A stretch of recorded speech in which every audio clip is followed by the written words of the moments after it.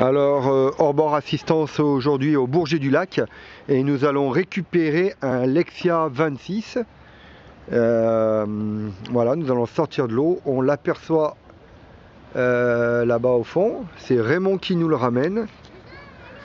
Et nous allons le remonter sur cette remorque. hein. Voilà.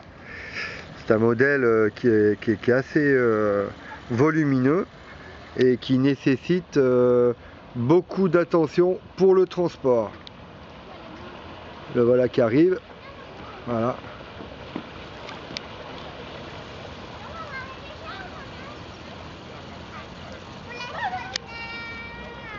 Voilà, bateau qui arrive. On va le remonter sur la remorque pour le ramener aux ateliers afin de faire l'hivernage, le stockage et tout ce qui est entretien.